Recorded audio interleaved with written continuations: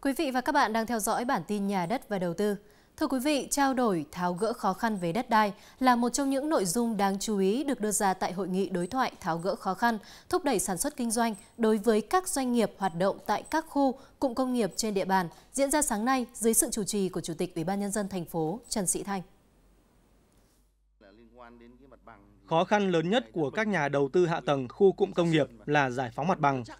Chủ tịch Ủy ban nhân dân thành phố Trần Sĩ Thanh chỉ đạo các huyện vào cuộc trách nhiệm để tháo gỡ, đẩy nhanh tiến độ các dự án.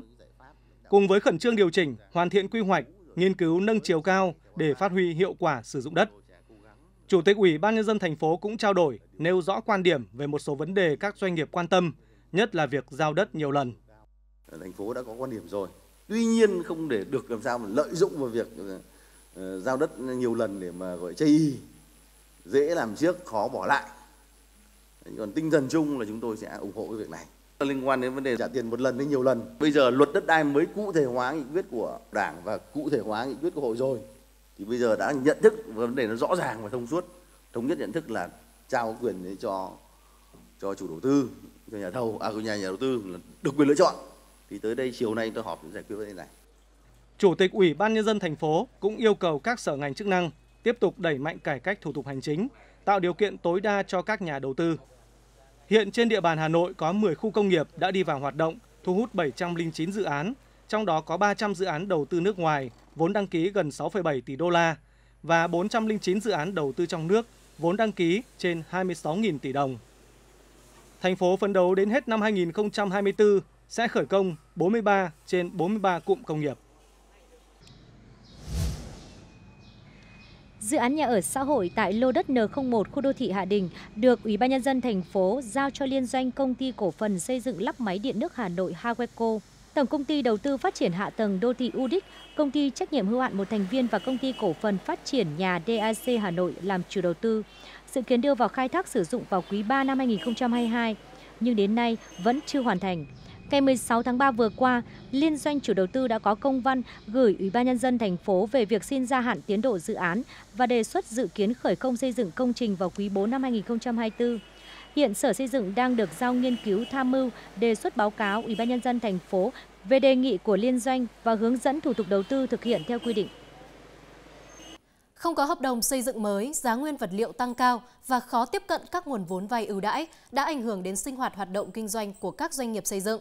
Số liệu Tổng cục Thống kê vừa công bố cho thấy vào quý 1 năm nay, chỉ có 39,5% doanh nghiệp xây dựng tiếp cận được các khoản vay ưu đãi.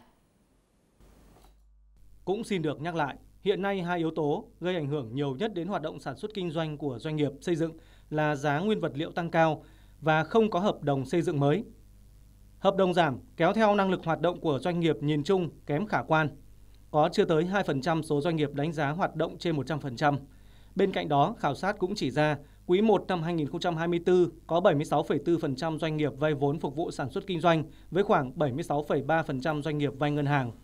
Trong đó chỉ có 39,5% doanh nghiệp tiếp cận được các khoản vay ưu đãi. Các chuyên gia cho rằng sự khó khăn của các doanh nghiệp xây dựng một phần nguyên nhân là do sự ảm đạm của thị trường bất động sản kéo dài thời gian qua. Trung cư bị thổi giá, tạo ra mặt bằng giá ảo, một nhóm khách hàng chuyển hướng sang nhà đất trong ngõ, kéo theo là đà tăng giá ở phân khúc này. Theo khảo sát, giá bán nhà trong ngõ tại Hà Nội đã tăng từ 10 đến 20% so với cuối năm ngoái.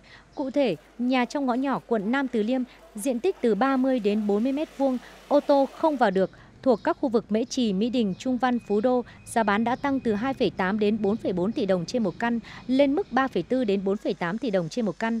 Khu vực La Khê, Phú Lãm, Sương Nội, Kiến Hưng, Yên Nghĩa, Hà Cầu, quận Hà Đông với diện tích từ 30 đến 40 m2, ô tô không vào được, giá phổ biến ở mức từ 2 đến 3 tỷ đồng trên một căn, tăng lên 2,4 đến 3,5 tỷ đồng trên một căn. Nhà riêng thuộc các khu vực Khâm Thiên, Thái Hà, Thịnh Quang, Trung Tự, Kim Liên, Đê La Thành, Trung Tự, quận Đống Đa với diện tích từ 25 đến 40 m2 trong các con ngõ nhỏ, ô tô không vào được đã tăng giá từ 3 đến 4,8 tỷ đồng trên một căn lên mức từ 3,5 đến 5,5 tỷ đồng trên một căn. Có thể thấy sau chung cư, giá nhà trong ngõ cũng đã bị đẩy lên cao một cách phi lý dù đã hạn chế về giao thông và phòng cháy chữa cháy. Người mua nhà cần cân nhắc trước khi đưa ra quyết định.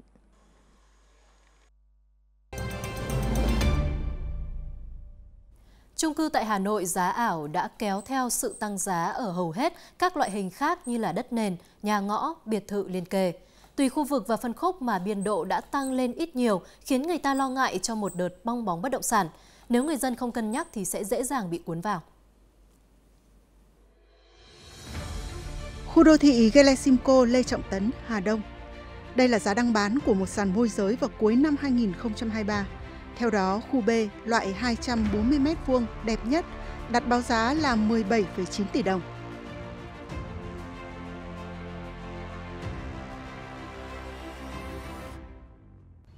Hôm nay đến xem chúng tôi được môi giới báo giá lên 24,5 tỷ đồng. Như vậy, sau 6 tháng, giá một căn biệt thự đã tăng hơn 6 tỷ đồng. Cái này à. Tuân bảo là 24 tỷ rưỡi thôi, 24 tỷ rưỡi với căn góc này là 36 tỷ rưỡi, 36 tỷ.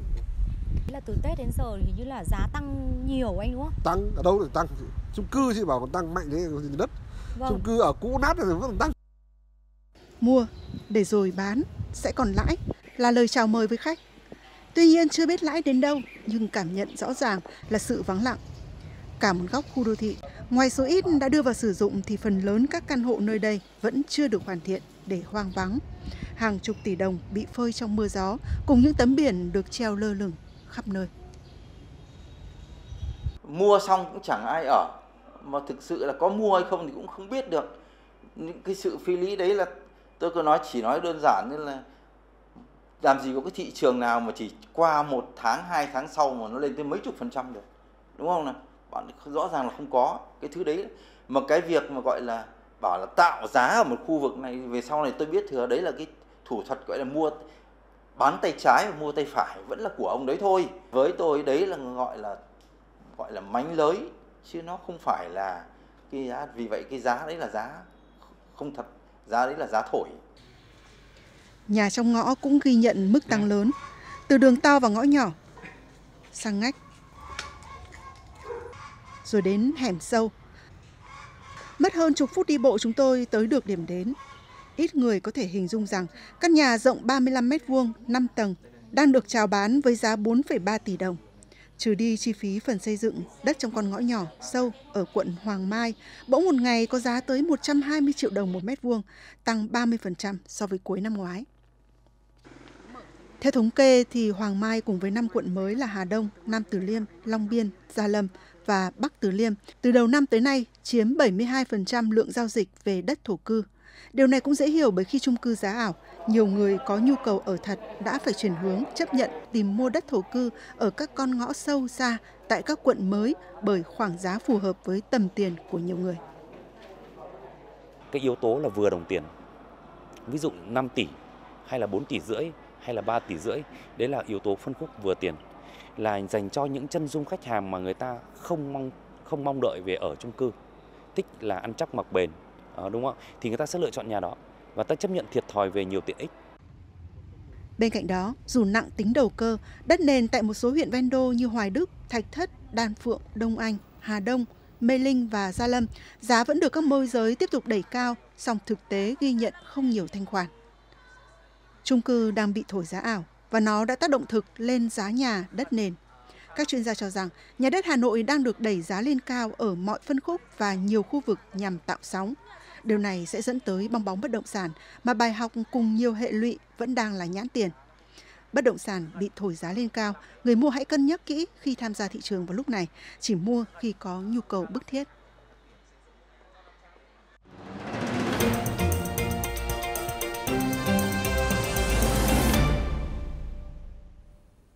Trong khi giá nhà đất đang tăng cao thì những người có nhu cầu ở thực thường bị môi giới hấp dẫn bằng các sản phẩm nhà đang thế chấp ngân hàng giảm từ 1 cho đến 2 giá. Tuy nhiên thì điều này cũng tiềm ẩn nhiều rủi ro. Sau đây là một số lưu ý nếu quý vị đang quan tâm tới loại nhà đất này. Việc đầu tiên trước khi đặt bút ký hợp đồng mua, bạn cần làm đó là xác định chính xác nhà đất có phải đang thế chấp tại ngân hàng hay không và thế chấp tại ngân hàng nào. Bạn có thể xác định điều này bằng những cách sau. Yêu cầu người bán cung cấp sổ đỏ photo và đề nghị công chứng viên tại văn phòng công chứng tra cứu thông tin lịch sử giao dịch nhà đất đó. Yêu cầu bên bán dẫn trực tiếp đến ngân hàng gặp nhân viên đang thụ lý hồ sơ. Đây cũng là cách tối ưu nhất. và yêu cầu người bán cung cấp hợp đồng thế chấp. Bởi trong hợp đồng thế chấp của người bán và ngân hàng có mô tả chi tiết tài sản thế chấp. Và lưu ý thứ hai là bạn cần phải xác định nhà đất đang thế chấp có được mua, bán hay không. Trong trường hợp ngân hàng đồng ý bằng văn bản về việc cho mua bán tài sản đó, thì bên bán và bên mua có thể ký hợp đồng đặt cọc một khoản tiền bằng với số nợ ngân hàng. Sau đó bên bán mang sổ đỏ đi giải chấp hoặc ủy quyền cho bên mua đi giải chấp tại cơ quan đăng ký giao dịch bảo đảm. Giải chấp xong thì hai bên ký hợp đồng công chứng mua bán nhà đất và đi sang tên sổ đỏ. Tuy nhiên trên thực tế thì rất ít ngân hàng sẽ ban hành văn bản đồng ý cho mua bán nhà đất đang thế chấp. Trong trường hợp này thì bên bán và bên mua sẽ lập một thỏa thuận ba bên với ngân hàng để mua trả nợ thay cho bên bán. Nghĩa là sau khi trả nợ xong, ngân hàng trả sổ và công văn giải chấp, hai bên ký công chứng hợp đồng đặt cọc. Sau đó bên bán đi giải chấp và mua bán công chứng sang tên sổ đỏ.